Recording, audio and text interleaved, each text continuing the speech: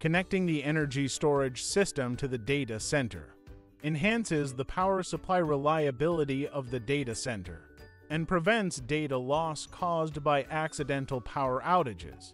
Energy storage system through peak cutting and valley filling, capacity allocation, and other mechanisms to improve the economy of data center power operation, low carbon and energy saving.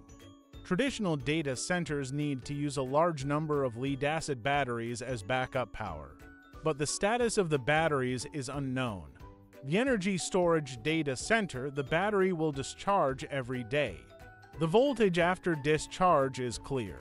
It is easy to judge the quality of the battery, which helps to remove the bad battery in time, but also saves the cost of false load testing every year. Access the energy storage system. Arbitrage through the peak valley price difference of electricity charges, so that the data center is no longer a simple power load but with a callable and adjustable power node, and even participate in the power grid frequency modulation.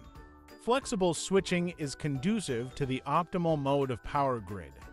Data center new energy generation to achieve energy saving and emission reduction. On January 28, 2021, the first 12 stations in one comprehensive energy station of the Yangtze River Delta was put into operation in Wuxi.